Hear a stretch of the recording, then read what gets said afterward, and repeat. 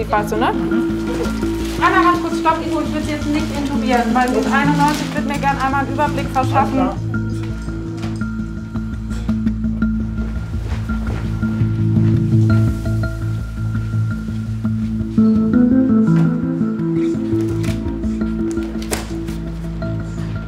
Das macht alle Gefäße auf. Also es ist so, als ob man im, im Haus alle, alle Wasserhähne aufdrehen würde. Und dort, wo am wenigsten Wasser durchkommt, da ist eine Engstelle. Das machen wir bei ihm.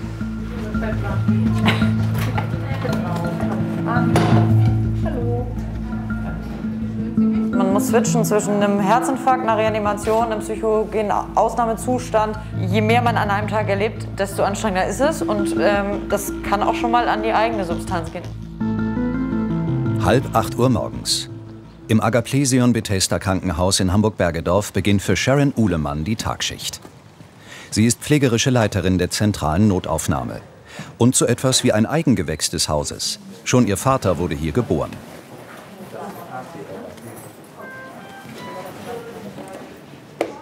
Ihr Arbeitsplatz ist der sogenannte Stützpunkt im Zentrum der Notaufnahme. Noch ist es ruhig. Mal sehen, wie lange das anhält. Meistens wird es dann zur Mittagszeit oder späten Vormittag wird dann, denke ich, mehr kommen. Und Corona tut ja sein Übriges dazu bei, dass ich denke, dass wir hier heute noch gut was zu tun haben werden. Ja. Nur eine Minute später. Ein Rettungswagenteam hat angerufen, ist unterwegs mit einer Patientin. Die zeigt mögliche Symptome einer Corona-Infektion. Uhlemann muss deshalb Schutzkleidung anlegen. Sie können gerne auf der Trage schon mal Platz nehmen. Ich komme sofort zu Ihnen. Das Untersuchungszimmer 5 wird damit zum Isolationsraum. Ohne Schutzkleidung darf hier niemand mehr hinein. Genau. Können Sie mir erzählen, was Sie zu uns führt? Die junge Frau ist stark geschwächt. Okay. Sie hat Fieber. Bist du Durchfall? Ja. Okay. Seit Beginn der Pandemie kommen täglich Patienten mit Symptomen einer Corona-Infektion in die Notaufnahme. Es gab Tage, da erwiesen sich fast alle als Corona-positiv. Wir müssen einmal gucken, dass es kein Corona ist, weil sonst würden wir es noch weiter verschleppen. Ne, Die Gefahr ist zu groß. Während Sharon Uhlemann der jungen Patientin Blut abnimmt, muss deren Mutter draußen vor der Tür warten. Auch eine Sicherheitsmaßnahme wegen Corona. Nach zehn Minuten hat die Krankenschwester die Erstversorgung abgeschlossen.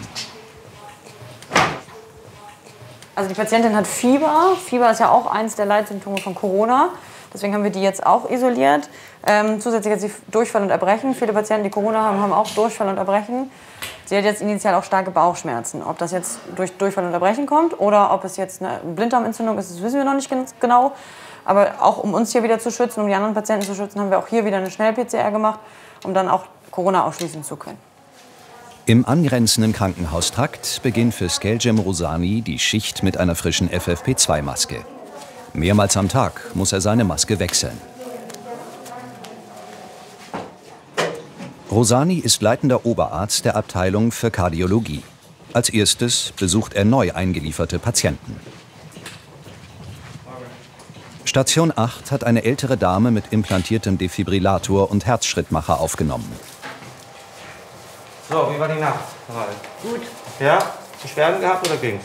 Ne, gerade. Nur, dass ich auf dem Rücken liege, ist nicht meins. Nicht Rosani muss überprüfen, ob das Gerät noch richtig funktioniert. Und haben Sie es gemerkt? Ne. Nö. Dafür hat er ein Kabel angeschlossen und löst per Knopfdruck den einprogrammierten Alarm aus. Hören Sie das? Tatütata. Ja. Dann stimmt irgendwas mit dem Gerät vielleicht nicht. Aha. Ja? Dann müssen Sie zu uns kommen. Und die nächsten zwei Wochen beim Duschen nur abbrausen die Stelle. Die nächsten zwei Tage kein Wasser rankommen lassen. Ja? Und nicht schwer heben oder Gardinen abhängen und waschen. Kann Ne? ich sowieso nicht. Ja? Gut. Skeljem Rosani arbeitet seit acht Jahren in der Klinik. Die Abteilung für Kardiologie hat er mit aufgebaut. Nun muss er weiter zum nächsten Patienten.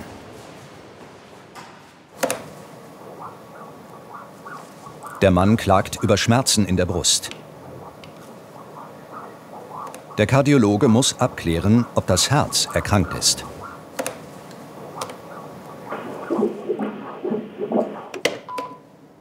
Rauchen Sie? Schon fünf Jahre, nein. Okay. Wie, wie lange haben Sie geraucht? 30. ungefähr? 30 Jahre? Ja. Und dann gucke ich mir nachher die Gefäße an, ne, beim Herzkatheter. Ich gebe Ihnen was zum Abwischen. Die Untersuchung mit dem Ultraschallgerät hat keine akute Gefahr gezeigt. Zur Sicherheit will Rosani aber noch heute eine weitere Untersuchung vornehmen. In diesem Fall, da der Patient Beschwerden angibt, also Druck auf der Brust, machen wir ähm, einen Herzkatheter heute. Da- Dafür ist er auch eingewiesen, weil der Verdacht besteht, dass eine koronare Herzerkrankung vorliegt. Also dass die Gefäße vom Herzen ähm, verengt sind. Im zweiten Stock des Krankenhauses liegt die Intensivstation. Dankeschön. Für Oberärztin Gesine Janssen beginnt die Schicht mit der Morgenvisite. Die 38-Jährige ist hier stellvertretende ärztliche Leiterin. ähm, ähm, Alle 14 Betten ihrer Station sind derzeit belegt. Guten Morgen. Nicht erschrecken, hier kommen ganz viele zur Visite heute Morgen. Die Beine sind noch ganz schön dick, ne? Die Ärztin muss einen Teil ihrer Station für Corona-Patienten reservieren. Alle anderen Notfälle müssen enger zusammenrücken. Das ist, glaube ich, auch das, was uns einfach wahnsinnig belastet. Es sind nicht nur die Covid-Patienten, ja, die machen einen großen Anteil aus und die machen einen großen, stellen eine große Arbeitsbelastung dar, aber es sind natürlich auch die anderen Patienten, für die wir genauso verantwortlich sind und die wir genauso gut versorgen möchten. Da wird ja nicht unterschieden zwischen der einen Erkrankung und der anderen. Im nächsten Raum hatte die Nachtschicht bis zuletzt um das Leben eines Krebspatienten gekämpft. Um 5.22 Uhr ist er gestorben.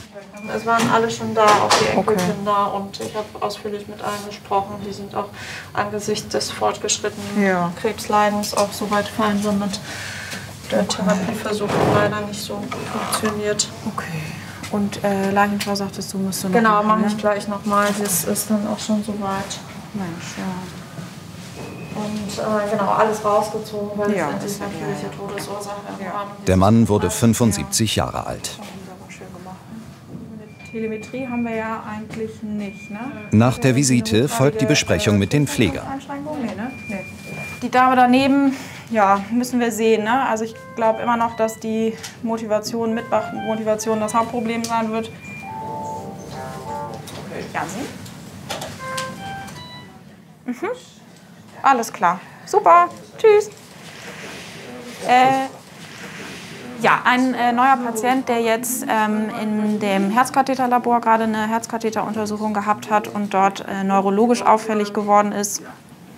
Die Kollegen sind sich noch nicht so ganz sicher, ob es wirklich ein richtiger Kampfanfall gewesen ist oder nicht. Ähm, und gibt jetzt aber auch Doppelbilder an, also sieht doppelt. Hm, Und dementsprechend muss man jetzt natürlich einmal gucken, dass nicht im Gehirn irgendwie was passiert ist. Das heißt, die Kollegen machen jetzt einmal eine Computertomographie vom Kopf und dann wird der Patient hier hochgebracht.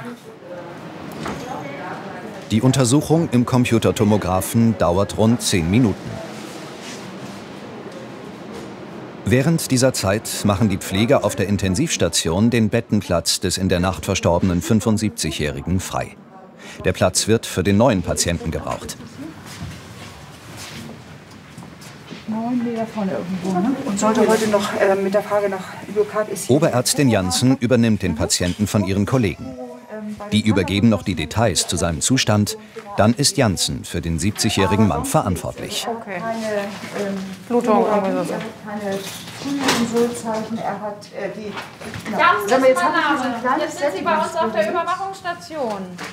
Wie geht es denn jetzt? Gut. Ja, keine Beschwerden? Beschwerden, Ja? Wasser. Kommen Sie erst mal an, ne? Einen kleinen Schluck Wasser kriegen Sie gleich mal, dass der Mund nicht so trocken ist. Ne? Aber ansonsten ist okay. Sonst ist okay, das ist doch schon mal gut. Er hat jetzt selber ja auch berichtet, dass er äh, seine Familie, Freunde, Bekannte so vor dem inneren Auge gesehen hat und gar nicht das Drumherum mehr so wahrgenommen hat. Also muss man schon auch davon ausgehen, dass das Bewusstsein eingeschränkt war. Ähm, und diese Momente haben aber nur kurz angedauert, waren dann, sind von selber sozusagen, ähm, haben sich wieder aufgelöst. Und jetzt geht es da natürlich weiter, dass man guckt, woran lag das jetzt? Bis zum Nachmittag will sich Gesine Janssen ein genaues Bild vom Patienten gemacht haben. Zwei Stockwerke tiefer wird derweil die junge Patientin mit Verdacht auf Corona von der zentralen Notaufnahme auf die Isolierstation verlegt. Ein PCR-Test hat den Verdacht bestätigt. Die Patientin ist Corona-positiv.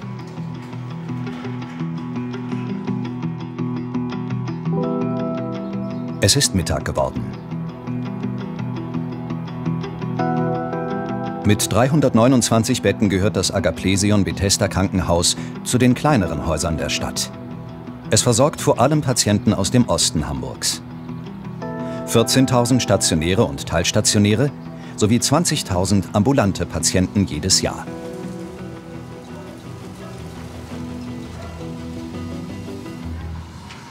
In der zentralen Notaufnahme sind seit dem Morgen immer mehr Patienten eingetroffen. Ich weiß nicht, wo dies mit ihr hin ist. Ines. Keine Ahnung. Pflegeleiterin Sharon Uhlemann ist für die Verteilung der Patienten auf der Station verantwortlich. Einige müssen bereits auf den Fluren warten, weil alle Untersuchungsräume belegt sind. Und ständig kommen neue Patienten dazu.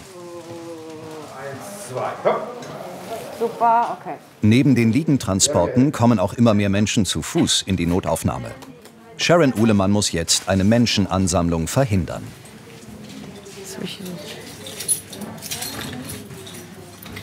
Hallo, guten Tag, ich bin Schwester Sharon. Dann kommen Sie einmal mit rein. Einmal nur hier Platz nehmen bei mir, auf der Trage, genau. Gut. So. Was führt Sie denn zu uns? Meine Hausärztin, Frau Klügner. Ich wollte das gar nicht. Fahren Sie mal in die Notaufnahme. Äh, er will sich das angucken. Ja. So, das ist die Geschichte. Ja, es ist unregelmäßig, es sind Herzrhythmusstörungen, gar keine Frage, aber das habe ich seit Jahren. Ne? Sind Sie gegen Corona schon geimpft? Oh ja, Booster. Schon dreimal, wunderbar. Ja, ja, Und gibt es Allergien gegen Medikamente? keine. Ein Corona-Schnelltest müsste ich einmal bei Ihnen machen.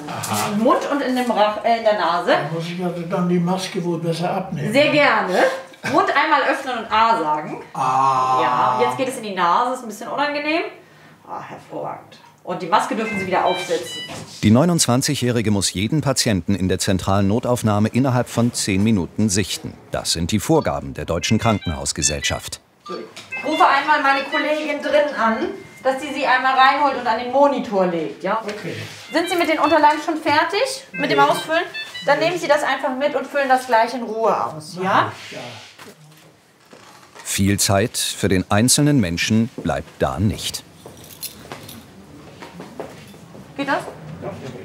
Eigentlich sind wir Krankenschwestern geworden, um auch ähm, den Patienten zu helfen, aber auch zuzuhören und Empathie zeigen zu können. Und das fällt häufig sehr, sehr schwer. Also jetzt in dieser kurzen Zeit Werte durchzumessen, festzustellen, was ist der Grund des Kommens und aber auch noch ähm, Empathie zu zeigen, dass man versteht, warum der hier ist, ist wahnsinnig anstrengend und schwierig. Und wenn man das acht Stunden am Stück macht, dann weiß man hinterher, was man getan hat. Schon ist der nächste Patient da. So genau. Nehmen Sie einmal Platz, ich messe ein paar Werte bei Ihnen. Was führt Sie zu uns? Erzählen Sie mal. Äh, ich habe eine Überweisung bekommen für Tinnitus. Für Tinnitus, Soll okay. ich bei euch gut behandelt werden? ja, wirklich. Ja, das hoffe ich doch. Ja, ne? Ja. Ja. Aber diese Geräusche immer. Okay, es geht einmal ins Ohr, nicht erschrecken. Und das wollte ich jetzt nicht behandeln. Ja. Rufe einmal unseren Oberarzt dazu, ja? Ja. Das heißt, ich soll bleiben jetzt gleich, oder? Das entscheidet der gleich, ja? Nehmen Sie noch mal kurz im Wartebereich Platz und die Kollegen rufen Sie auf, wenn es Da ganz hinten, ja? Genau, Okay. einmal rechts ums Eck. Super, ich bedanke mich ganz herzlich. Sehr gerne. Bleiben Sie gesund. Ja, Schönen Tag noch. Tschüss.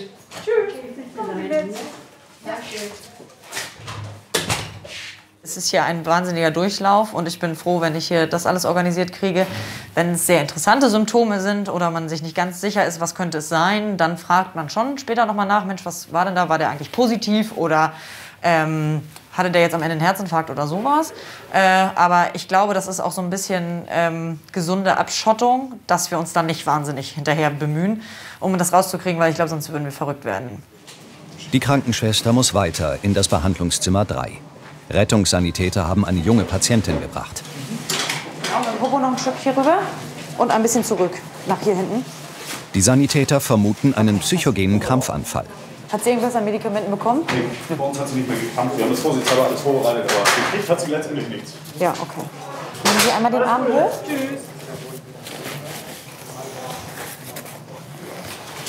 Können Sie sich an alles erinnern?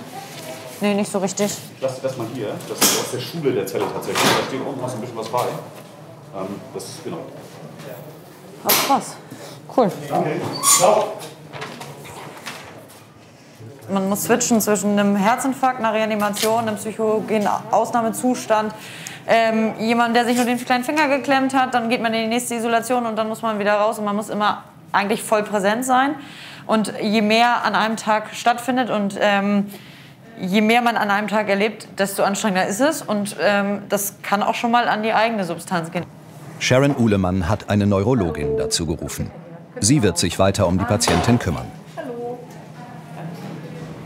Sie mich? Während die Pflegechefin in der zentralen Notaufnahme zum nächsten Patienten eilt, soll einige Gänge weiter in der Kardiologie der Mann mit den Schmerzen in der Brust seine Herzkatheteruntersuchung bekommen.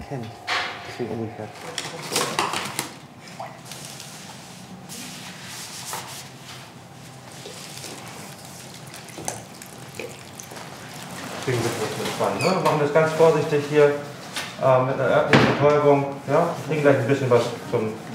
Ja? Und, ähm, wieder zu warm, bitte. Wo sind die schönen Hauben? Über das Handgelenk des Patienten führt Skeljem Rosani einen dünnen, langen Kunststoffschlauch, den Katheter, unmittelbar bis zum Herzen ein und spritzt dann ein Röntgenkontrastmittel. Auf dem Röntgenbildschirm werden so die Herzkammern und Herzkranzgefäße des Mannes sichtbar.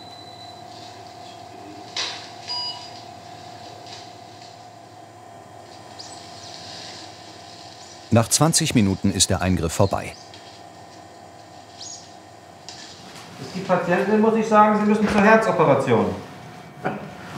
Ich brauche, ja? Nee, Sie brauchen das nicht. Sehr gut, sehr gut, sehr, sehr zufrieden. So gefallen Sie mir. Rosani hat keine besorgniserregend verengten Gefäße am Herzen entdeckt. Der hat ein hohes Risikoprofil und die Beschwerden waren sehr typisch. Ähm, deswegen ähm, war das gerechtfertigt. Er hat auch ähm, eine Belastungsuntersuchung schon gehabt vor, vorher, dass man das macht. Und das ist ein gutes Ergebnis für den Patienten. Man kann medikamentös gut helfen. Braucht kein Stand. Zurück auf der Intensivstation. So. Oberärztin Janssen hat die Computertomographie-Ergebnisse des neuen Patienten erhalten, der Doppelbilder und seine Familie vor dem inneren Auge gesehen hatte. Auf den ersten Blick sehen zwar die Liquorräume etwas erweitert aus, äh, aber sonst eine Blutung, wovor man natürlich Angst hätte, weil im Kopf der Platz ja begrenzt ist durch, den, äh, durch die Schädelknochen, die den Kopf umgeben, sehe ich jetzt nicht. Sicherlich altersbedingte Veränderungen, die halten sich aber noch im Rahmen und damit ist erstmal ausgeschlossen, dass es jetzt einen, einen schwerwiegenden Defekt im Gehirn gibt, der das Ganze ausgelöst hat. Vorläufige Entwarnung. So, dann ziehen wir uns mal an. Visite im isolierten Bereich am Ende der Intensivstation. Hier liegen die schweren Corona-Fälle. Bevor Gesine Janssen und ihre Kollegin den Bereich betreten dürfen, müssen sie Schutzkleidung anlegen. Haube, Handschuhe, Plastikkittel, Schutzbrille. Sechsmal am Tag mindestens muss die Ärztin diese Prozedur durchziehen. Und dennoch. Seit der Impfung ähm, und der, vor Dingen auch der dritten Impfung, jetzt so September, Oktober, muss ich ganz ehrlich sagen, ich rechne damit, dass ich mich früher oder später infizieren werde. Das, davon ist, denke ich, auszugehen, egal wie gut ich mich schütze. Ich bin natürlich ja nicht 24 Stunden hier, auch im Privatleben. Aber Angst davor, dass ich mit diesen drei Impfungen noch irgendwie einen schwereren Verlauf nehmen könnte oder so, habe ich nicht. Hoffe ich. Mal gucken. Derzeit liegen vier Covid-Patienten auf der Intensivstation. Drei von ihnen müssen künstlich beatmet werden. Keiner von ihnen ist geimpft. So, dann können wir mal gucken. Hier die Hautdefekte, das ist schon auch. Was ist das auf der Seite? Nicht so viel, ne? Mhm. Ja, ich glaube auch, es war dieser hier, ne? Na gut, das sieht jetzt aber auch nicht viel verändert aus, ne? Die Corona-Visite ist gerade beendet, da kommt ein Notruf. Die Stroke Unit, die Schlaganfallstation, meldet einen Herzstillstand.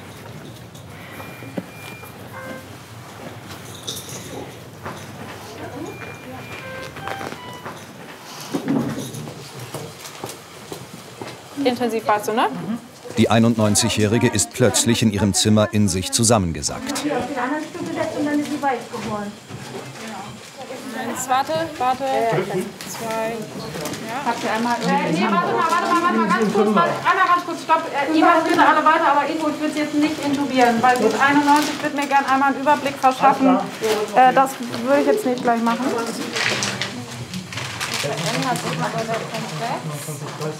Dann würde ich äh, den Zyklus einmal noch durchdrücken, einmal Rhythmuskontrolle am Ende nochmal machen und äh, wenn nichts kommt, dann würde ich das auch abbrechen. Dann war das jetzt eins vom erster Teil vom Zyklus, ne? Wieder weg. Ja, genau. Hier ist nichts. Gut, dann Okay, dann hören wir jetzt auf. 14.25 Uhr.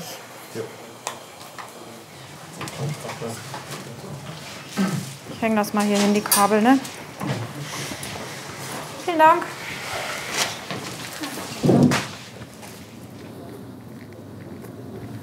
Es sind natürlich in den ganzen Jahren auch viele Situationen, die wir durchleben, die aber so eine wie jetzt, die aufgrund der Klarheit eigentlich der Situation eher nicht dazu führen werden, dass sie lange im Gedächtnis bleiben. Das ist aber auch, glaube ich, dann für uns nicht gesund, beziehungsweise wenn dem so wäre, würde es, glaube ich, dieses professionelle Arbeiten, den professionellen Blick auf die Situation einschränken und man wäre wahrscheinlich nicht mehr gut in der Lage, ja, professionell zu entscheiden und eben nicht emotional.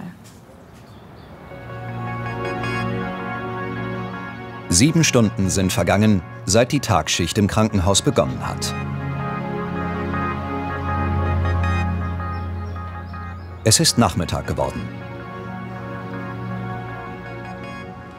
Skeljem Rosani ist auf dem Weg zu seiner nächsten Untersuchung.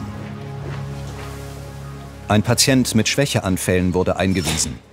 Rosani muss herausfinden, ob dessen Herz möglicherweise nicht genügend mit Blut versorgt wird.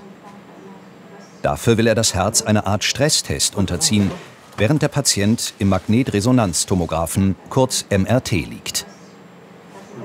Um das zu machen, gebe ich ihm gleich ein Medikament, was das Herz stresst. Das macht, ein Kollege von mir hat das mal so beschrieben, das macht alle Gefäße auf. Also es ist so, als ob man im, im Haus alle, alle Wasserhähne aufdrehen würde.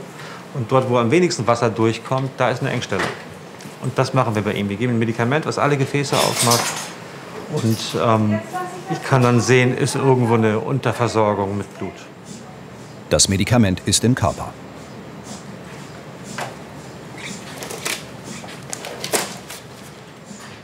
Auf der MRT-Aufnahme kann Skeljem Rosani nun sehen, ob tatsächlich nicht genug Blut am Herzen ankommt. So mäßig, ne? Ja. Dann mach mal. Okay. Nach zehn Minuten ist das Ergebnis da. Gut. Es ist eigentlich ein Normalbefund. Wir haben keinen Hinweis darauf, dass, dass deine Beschwerden von der Minderversorgung ähm, des Herzmuskels kommen. Also auch ein gutes Ergebnis für den Patienten und ähm, ja, hat sich eine Katheteruntersuchung gespart. Schon sein zweiter Patient heute, bei dem sich ein schlimmer Verdacht nicht bestätigt hat. Ein guter Tag. Ja? Ich habe jetzt noch ein paar Routineuntersuchungen und harre der Dinge. Wenn ein Notfall kommt, dann bin ich da, aber momentan ist ruhig. Was auch ganz schön ist. Gut, vielen Dank. Schönes Wochenende. Tatsächlich wird auch der Rest von Rosanis Schicht heute ruhig verlaufen. Ganz im Gegensatz zur Situation in der zentralen Notaufnahme. Noch immer kommen hier stetig Patienten an. Während die junge Frau mit Verdacht auf psychogenen Krampfanfall auf eine andere Station verlegt wird, warten noch immer Notfälle auf den Gängen auf ihre Untersuchung. In wenigen Minuten soll ein neuer Patient mit Verdacht auf Corona ankommen. Pflegeleiterin Uhlemann und ihr Team müssen daher so schnell wie möglich die Gänge frei bekommen, damit sich niemand hier ansteckt. Ja. Wir müssen einmal jetzt Ordnung reinbringen, glaube ich. Hier ist Covid-positiv, hier ist psychiatrisch. Was machen wir damit? Krampfanfall, neurologisch. Habe ich von hier vorne nach hinten geschoben gekriegt. Achtung, Achtung, Achtung. Der geht da rein. Bleiben Sie mal hier. Ich organisiere eine 1 zu 1 Betreuung für ihn, ja? Wir haben ein kurzes Team-Timeout gemacht, haben einmal ganz kurz jeden Patienten einzeln durchbesprochen, wer wohin geht, wird er aufgenommen, geht er nach Hause, wo können wir Zimmer freimachen, damit wir das Chaos vom Flur loswerden. Die Ärzte haben klare Ansagen bekommen, welcher Patient jetzt zügig nach oben muss ähm, oder wo wir noch auf Untersuchung warten müssen. Und jetzt ähm, versuchen wir das einmal schnell abzuarbeiten, was der, der Chefarzt uns angesagt hat und dann haben wir hier gleich wieder Ruhe und Ordnung. Mittlerweile ist die Krankenschwester seit fast acht Stunden auf den Beinen.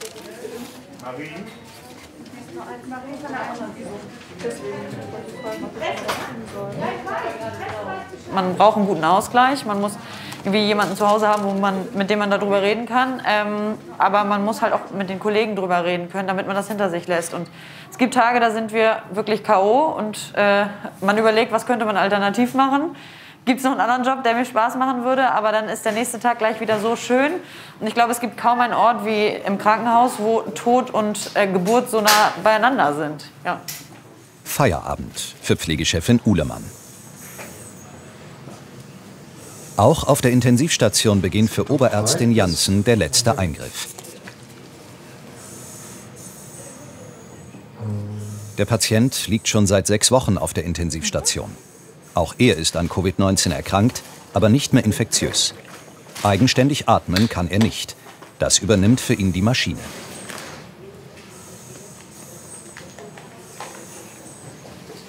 Die Lunge ist ja schwer entzündet, was auch dazu führen kann, dass die kleinen Lungenbläschen natürlich auch mit in Mitleidenschaft gezogen werden und platzen können, reißen können durch diesen chronischen Entzündungsreiz. Das ist bei ihm passiert, sodass der rechte Lungenflügel zusammengefallen ist. Gesine Janssen und ihr Kollege wollen nun einen Schlauch in die Brusthöhle einlegen, um die Lunge wieder zu entfalten. Wie weit ist das? Noch hart. Wird aber weniger Luftleckage. Der Eingriff gelingt. Es wird der letzte für heute sein. Die Beine sind schon irgendwann schwer, sind anstrengende Tage, der frühe Start. Und jetzt ist es ja, halb vier, aber der Feierabend wird noch ein bisschen dauern. Und ich habe heute Hintergrund äh, Rufdienst, sodass ich also permanent telefonisch erreichbar und auch örtlich mich nicht zu weit entfernen darf. Ähm, für Notfälle, dass ich eben dann im Zweifel auch heute Nacht wieder zurückkomme. Und im besten Fall bleibt es heute Nacht ruhig und dann geht es morgen früh um Viertel nach sieben weiter. Denn dann beginnt sie von neuem. Die Tagschicht in der Notaufnahme.